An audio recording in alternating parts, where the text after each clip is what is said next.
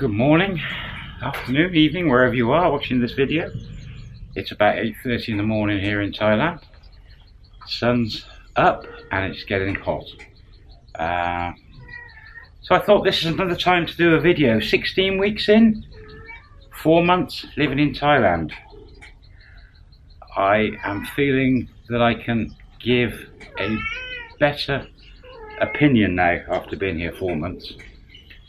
One of the things, if you are going to move to Thailand and you're thinking of re retiring here, uh, it's very exciting. But I've, I've learned over the first 16 weeks um, that it's only when you actually start to get settled you understand is it the dream? Am I now living the dream? When we left our house in the UK, March the 7th, 2018, that day was very exciting.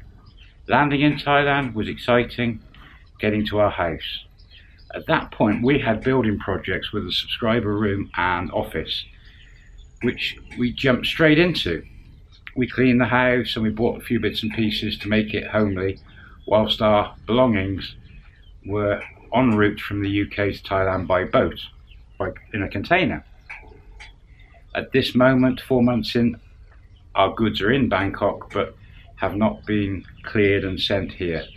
That should happen in the next week, one hopes. With not having our goods from the UK, we are making do with old furniture, old belongings, um, and a limited amount of clothes. We've bought a few new ones. So until our goods arrive and we can then set up the home to feel more homely with our personal effects, our freezer, um, some other cooking devices and cutlery, etc. It's not going to feel completely like a home. It's taken some 10, 15 years to build this house and get everything ready for the retirement. But in my case, the first six weeks was building projects. That kept me busy, not hit retirement yet because I was organising all that. And it kept my mind occupied. It helped me acclimatized to the heat. Well, I thought I was acclimatized. The heat here in Thailand, very humid, average 35 degrees upwards every day in this semi-rural part of Thailand. And I imagine if you go to Bangkok or one of the cities, it might be one or two degrees cooler than where we are here. I might be wrong, it might be the other way getting used to the temperature, the humidity, it's taking a lot.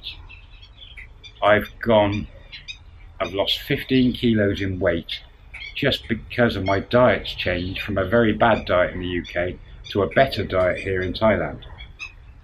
I'll go into that weight loss, the diet and the hospitals on the next video, but my body has gone through a bit of a crash trying to acclimatise to Thailand and that's put me in a frame of mind that's negative in some ways. Living the dream, as I hoped it would be, is still there on the cards. But with so many building projects we've been doing and little ones still doing, my mind hasn't had chance to start start settling into real Thai life. It's only the past two weeks, two and a half weeks, that I'm beginning to feel this is my home. The Thai people are amazing. Thai food is amazing. The climate is takes some getting used to, but once acclimatized, I think we'll be fine. It's things like in the afternoon, three or four hours are so hot you can't go out. Unless you've got a budget that allows you to just jump in the car and go off round some aircon shopping malls or down to a beach just wander around where it's cooler. Um, we haven't got that luxury. Our budget is quite small. Again, I'll, I'll be doing another video on living in Thailand, the budget we have and the budget other people are having. So watch out for that video in the near future. But 16 weeks in, YouTube, having YouTube, having you as su subscribers, supporters, the community, you have kept me in a very good place mentally. Um, I have not had any time at all to get bored in, not once, because I have so many jobs to do around the house. If we were in rented accommodation, it wouldn't feel the same because I wouldn't be doing jobs on the house because it wasn't ours. So I can imagine that could cause a bit of boredom if you've uh, got nothing to do around the house. In which case, if you're on a low budget and you start going out and about to get rid of the boring times, you end up spending more money and going over budget. You have to expect um, living in Thailand to be different to your country. The budget in your country, what you spend, what you earn, to coming here and probably relying on pensions, savings, um, and any businesses you've uh, invested in, money coming in from there. But it is cheaper to live here. It is cheaper to live here. Currently, we're um, we're probably spending a thousand baht a day. But I'll try and get into a full breakdown of that and uh, go through that with you. Money is very easy to spend here. As I've said before, the thousand baht note, which is about 30 American dollars, 25 U uh, UK pound, you can just spend one of those notes without blinking. So getting a grip of your money is very important. From day one, you can overspend early when you arrive and retire. You could spend way too much too quickly if you're not careful. So I do suggest you plan at the beginning a bit more money available for the first few months. I've been sick for nearly 10 days now, on and off for 10 days. And I've had a lot of interaction with the local hospitals, the different hospitals and doctors. Next video, I'll tell you all about that. But that has caused me concern over bacteria, cleanliness of food in Thailand, and it scared me a bit away from Thai Thai food, street food. Um, it has it has put me off a bit. I'm now washing my hands every time I'm near, you know, the uh, sink. Kirby's trying to knock the tripod over. I'm very, very aware now of bacteria problems here. How easy it is to get um, a bacteria infection even so much so that I'm going to go out and buy a big new fridge and every work surface like Kirby every work surface is going to be scrubbed I'm going to do a deep clean on the house because it's so easy to get bacteria here. A lot of the Thai people including my wife they buy lots of Thai food and they'll eat half it and throw it in the fridge. And the fridge is getting contaminated with different meats next to each other etc so getting that into my wife's head and anyone who's here, like Sam, getting the cleanliness sorted out is now become a thing that I'm going to have to deal with. It's going to take me a few weeks to get back into eating Thai food, Thai food off the street. But when you get good Thai food on the street, it's amazing. Ah, Kirby, what you like? Yeah, the food is amazing, but it has put me off this um, these infections I've picked up the last few weeks. So that has changed my outlook at the moment. The weather I'm getting used to. It's fine. Um, the heat, you learn to keep out of the heat at certain times of the day. The local Thai people have accepted me and Mem. We have integrated in the village fine and you guys coming to visit, subscribers and things. There's been quite a few of you now, and it's been amazing having you here. Has um yeah, 16 weeks in. This this is one thing that's new to us completely. Having that subscriber in for you guys to come and stay, spend some time here. Um, we've not done anything like that in our lives before, as far as people staying with you and entertaining them. Every time some, some one of you comes, um, we're learning something new each time. And although it's fabulous here in the village and there's lots to see, it's not easy for us to get up and spend 24 hours with you and take you around these places because it costs money for us um, that we haven't really got. But anywhere we take you, it takes time up. And YouTube has suffered a bit the last few weeks with me and subscribers here because I haven't got into doing more and more um, detailed videos I've been spending time with subscribers. So we've got to get that right. Uh, the the mix of when you come, of what time we'll spend with you, what you're going to do. We're going to get, uh, Ron is working on a, a brochure type book um, for the subscribers, for you guys when you come, what's around here, maps and things like that. And that will make life a bit easier for you, definitely. As we say, we've got the motorbikes here, you can borrow and off you go. Everything is um, is good now. I'm feeling like I'm facing retirement and understanding what it's going to be. Daily life is, for me, good because there's lots of little jobs for me to do around the house and things like fitting a couple of new rails for making the subscriber room disabled friendly. Um, putting shelves up soon when I've got them come from England. Lots of jobs around the house, building little jobs that keep them busy, which is great. Bigger projects coming up for Mem and Sam very soon but I'm going to try and not get too heavily involved in those. I want to start kicking back a bit and taking you guys out um, with me to see other sites around here. We also want to try and get a couple of days away down by the beach somewhere and uh, we'll again we'll film all that.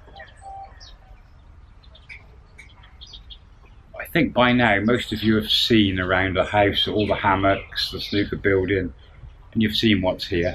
Uh, and we have spent, I have spent a lot of time at the house, haven't been going out much, especially the last 10 days with the sickness. That has um, caused me a little bit of concern because I haven't been able to make the videos I want to make out and about.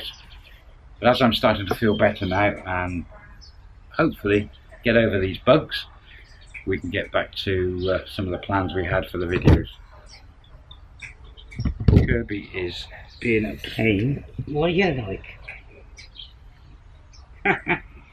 Go over there. now what is it with a tripod and cats? The five kittens are running wild at the moment. They're at that age, they're almost time for their injections.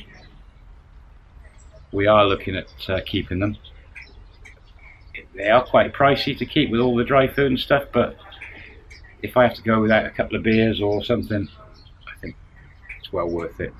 They'll also keep any vermin away from the uh, house, which is good. The field behind me has been ploughed, um, re-ploughed, and uh, any day now I imagine Ma will get that little dak dak with a plank of wood I showed you on one of the videos and flatten all the land again, the mud, before he seeds for the next uh, crop of rice. I can't believe. What you like, Kirby? Behave. so, 16 weeks in. Apart from the sickness I've had, I'm beginning to feel like I'm slowing down and retiring, which is fabulous. Meeting you guys all the time has been brilliant. Every one of you that comes brings more stories. I will be looking at maybe doing some of your stories. Um, and if any of you do come here and you want to be part of a video, let me know. Tell me. Uh, you know, we can do something together. If you've got a story you want to tell on video and share with the rest of the community, it's not a problem. Anybody who does want to come, please email me. Give me a bit of warning when uh, you want to come. Right now, it's we've got a visitor arriving tomorrow, I believe, for one night. And over the next few weeks, we've got people coming. So the best, the more notice you can give us, the better. It helps us. We have got spare room in the house, so if it gets too many people coming, you end up sleeping in the snooker club or in the garden in a tent. But it won't be a problem. Mem, handbag business ticking over, but it's not really exciting her like it's, uh, I thought it would. Um, so she is about to start a new business, which once she's registered the business with the lawyers and uh, got all the paperwork done, I'll then share all that with you. So that's going to be quite a nice little business. People are asking about micro business and things like that. Time, a few more months, we'll get into that on the micro businesses.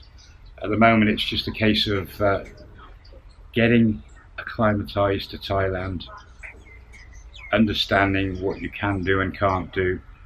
Um, I'm just waiting for our goods to arrive. as soon as they arrive, that's going to change some of the things for me because I've got camera equipment in there for the channel and I've got desks and oh, all my personal stuff that I'm missing. That's really going to make this place feel a bit more like home. Having six cats running around and two dogs, well, we never had the luxury in our home in the UK, we just had a small home. So it's we're both animal lovers, and especially me. So it's nice having that the animals about. We've got no pet snakes, no plans on getting any or anything exotic like that, or uh, lizards. We just leave the wild ones out there and watch them. 16 weeks in, there you go guys, that's me. I'm sort of, uh, I'm getting into a happier place with my mind. I'm uh, on the mend for the bugs hopefully, which will make me feel better anyway. I'm happy I've made the move. What am I missing from the UK most?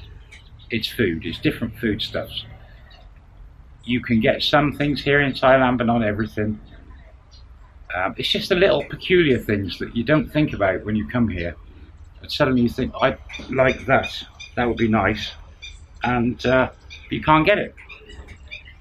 One of you, Andy um, Holmes, dropped in he got off the plane, he came here, and then he went off to see someone in Hua Hin.